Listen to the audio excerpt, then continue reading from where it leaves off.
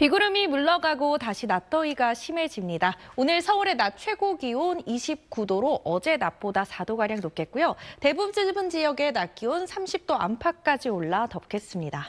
현재 일부 제주와 남해안 지역에 비가 이어지고 있는데요. 오전 중에 대부분 그치겠습니다.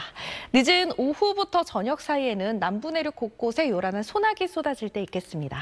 오늘 아침 일부 경기와 충남 서해안을 중심으로 안개가 짙습니다. 특히 이천의 가시거리 200m 까지 바짝 좁혀져 있는데요. 이른 시간부터 움직이신다면 안전운전 해주셔야겠습니다.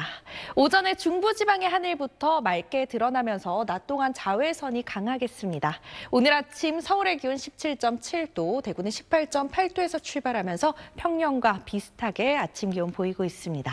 당분간 30도 안팎의 더위가 계속되겠습니다. 날씨였습니다.